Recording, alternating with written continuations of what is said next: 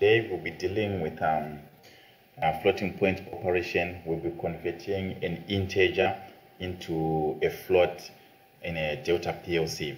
So, uh, what are float, floating points? In other PLCs, they call them real numbers. So, these are kind of numbers like a number with a fraction or a number with a comma like 0, 0.5. 0, 0.5 is a, is a float. So, that's what you call floating points. And then an integer, you know, uh, 0, 1, 2, 3, just those decimals, 0 to 10 to 9, those are integers without a comma. That's an integer value. So in a Delta PLC, we use this FLT function, and uh, this instruction came, comes in, uh, in two forms. We have got a 16-bit instruction, and then we've got a 32-bit instruction. I'm going to explain uh, the difference as I'll be doing in the ISPSoft software. Uh, so I'm just going to jump to ISPSoft now. Um, so this is ISPSoft. Uh, our instruction is D is a FLT, right? And then load M1000. Okay. So this is an instruction that is always on whenever the PLC turns from um, from stop to run. This becomes on. So this is our floating function, and it's a it's a 16-bit instruction. So let me write here 16-bit instruction. Just want to say ins so this is a 16-bit instruction. Why what's the difference between a 16-bit and a 32-bit the 16-bit is it's, it's because of the range. It's because of the range. So now with your calculator just punching 2 to the power 16 you get 65 536 and then divide this number by 2 if you divide this number by 2 you get 32 7 6 8 so minus 32 7 6 8 2 32 7 6 8 right. But we are not supposed to put it with an 8 because there is a 0 between this range so it turns up to be 7 yeah. Because only our number line we move from minus and then we get to 0 and then we start to, to do positive. So it means this instruction can only convert data from integer to integer, information that is only between this range, within this range, which means it can process negative integer values and give you float, negative float values. This instruction can perform negative and positive, but within the range of 32,767. If you exceed this range, it will give you an error or it will not perform very well. It will not give you the right answers or you not get what you, what what you really want when you exceed this limit. Okay uh, so i'm going to put instruction. Here i'm going to put a d0 and then here i'm going to put a d1 right? But take note take note a floating point in a delta plc a floating point which is a result that we are going to get here. What we are supplying here is an integer, and what we are getting here is a floating point. A floating point in a Delta PLC, it occupies two consecutive devices. By two consecutive devices, I mean it occupies two registers because the floating point is a 32-bit data size, in data size. So what do I mean? What, what I mean is um, a float is equal to 32-bit size in size. 32-bit size is equal to d1 plus d2 right. So it means the moment my information is being converted from a float to from an integer to a float it's going to occupy d1 and d2 consecutive. D1 it occupies d2 automatically. The moment you assign a d2 here it's occupying d2 and the next device automatically. So it's taking D2 and D3 automatically. So I put D1 here and then D2 has been used. That is already used because the data that is going to come out here is a float. It occupies two registers, D1 and D2. It's, need, it's, a, it's a double word. Right. But why is it on D0? I just put D0 uh, only because otherwise I was supposed to use D0 and D1 and here I was supposed to start on D2 but D0, take note, D0 uh, is our integer side. This is the integer side, this is the float side. The integer side, the range of 3276 is a 16-bit range. So it's enough to put a D0 because a D0 by default in a Delta PLC is a 16-bit memory. It's a 16-bit memory registers. So it's enough for our integer, but it's not sufficient for our floating points. That's why on the floating points, it's going to take D1 and D2. Uh, if I'm not clear, just clarify in the comment section and then I'll explain more. Uh, don't forget to click the subscribe button. Don't forget to like. Don't forget to put any questions or um, any suggestions or videos that I can do for you. Okay, so we are going to test now so that we can clarify what we are doing.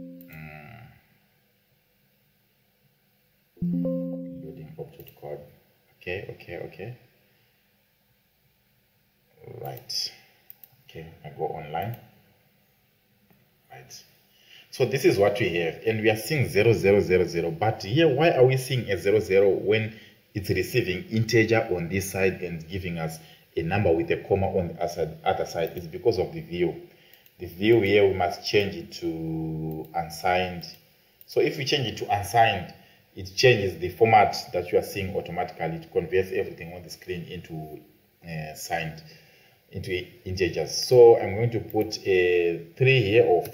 Let me put 5. Right. So there's 5 on this side. So this side, what this instruction is going to do is going to convert this 5 into a number with a comma. So 5 is a number with a comma is just 5 comma 0. It's good as 5 comma 0. So if I change the view here to float, you will see our answer is 5 comma 0. Like that. Like that. So the difference now between a a 32-bit instruction and a 16-bit instruction, I'm gonna show you now. I'm going to I like online edit. I'm gonna do online edit, put a new window, and then write 32-bit instruction. Right. In 32-bit, the only difference is the D, DFLT, where the D is normally for double. It's for a double double double word. So whenever you see a D in a ISPSoft, mostly whenever you see a D, it's a D move, it's a D add. It means the, the instruction that we are using there is a double. It's occupying two devices. By devices, I'm referring specifically to registers like D0, like D1. Okay, so this one is a is a double. Uh, and then here I'm gonna put so D1 is used D2 is used because it's occupying two memory registers. So my next available free register is D3. Like that.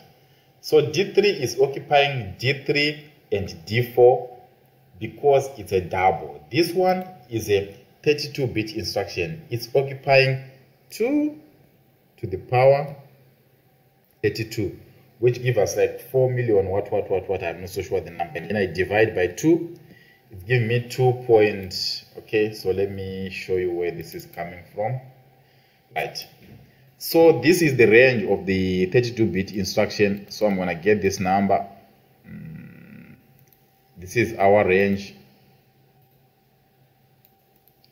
This is our range. So from plus to minus this number. So we will see the difference now. I'm going to simulate and show you so that it becomes very easy now. Okay, it becomes very easy. I'm going to download now. Mm, right. So I'm going to put the limit. I'm going to take this instruction and test it to its maximum limit. You're going to see the limitation of a 16-bit instruction, and then you're going to see the advantage of a 32-bit instruction. So what I'm going to do, I'll change my view to unsigned, and then I'll put um, 32767. That is 32767 like that right so if you've got i put a mistake here. There's a mistake. It's supposed to be a 7 32767 okay so this is my integer value 32767 it's an integer value. When it's converted to a float it's uh it gives me that same number but with a comma you see. What if i put 32768 just just one one number difference. Uh, I'm going to put a 768 here.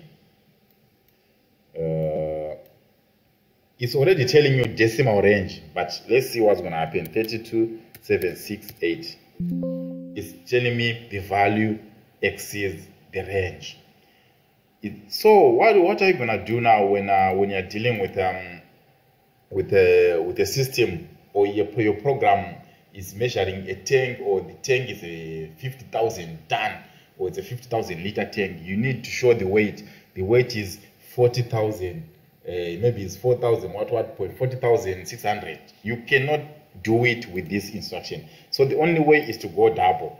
You come to this instruction. This one now, it's a 32 bit now.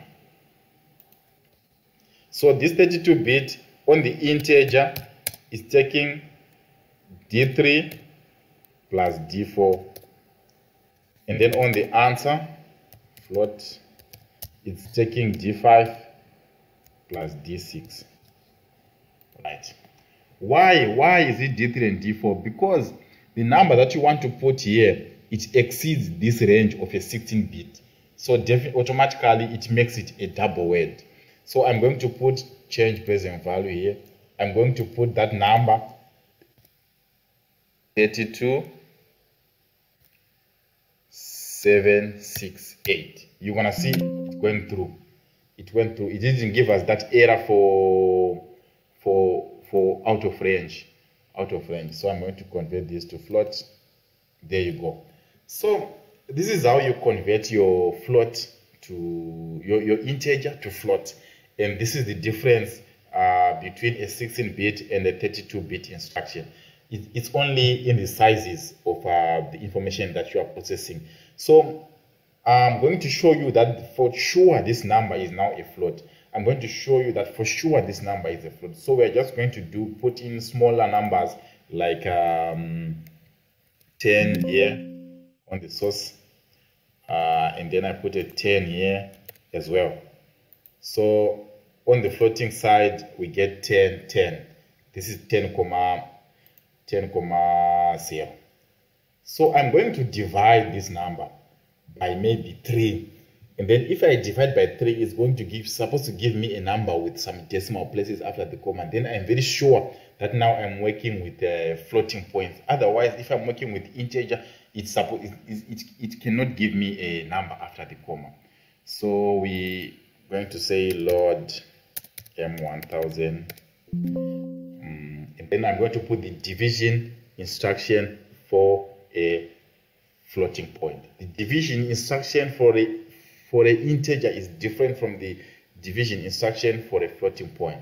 So we say uh, I don't know if I still remember the instruction D D I V. I think so. Uh, yeah, yeah, it went through. Right, this is the instruction.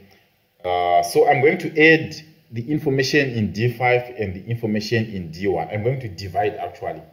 I'm going to divide actually. So I'm going to say D1 divided by, let me put a 3 here, or a 7. Right. This D1 divided by the number in D5 oh, I, I have to download this first okay d5 uh, and then d my answer is going to be in d the next available register is d5 d6 is d7 so this d7 is going to occupy d7 and d8 as well okay so I'm not getting an answer now. Why? Because I even downloaded this because I'm on online edit. After I finish editing, you must download into the PLC so that the microprocessor can execute the new object code now.